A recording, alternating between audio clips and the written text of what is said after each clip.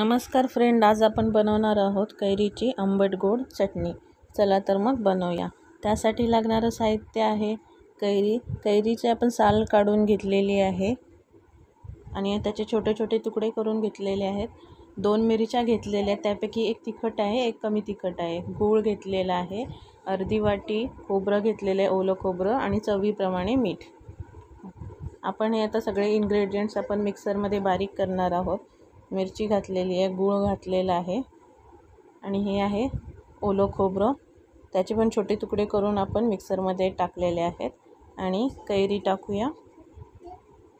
आणि चवीप्रमाणे मीठ टाकूया. तुम्हाला गूळ नको असेल तर तुम्ही स्किप करू शकता. काही लोकांना तिखट आंबटच आवडतं गूळ आवडत नाही.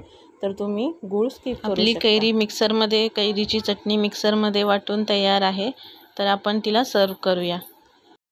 अशी ही झटपट बनणारी कैरीची चटणी तुम्हीसुद्धा बनवून पहा आणि रेसिपी कशी वाटली ते कमेंट करून मला नक्की कळवा.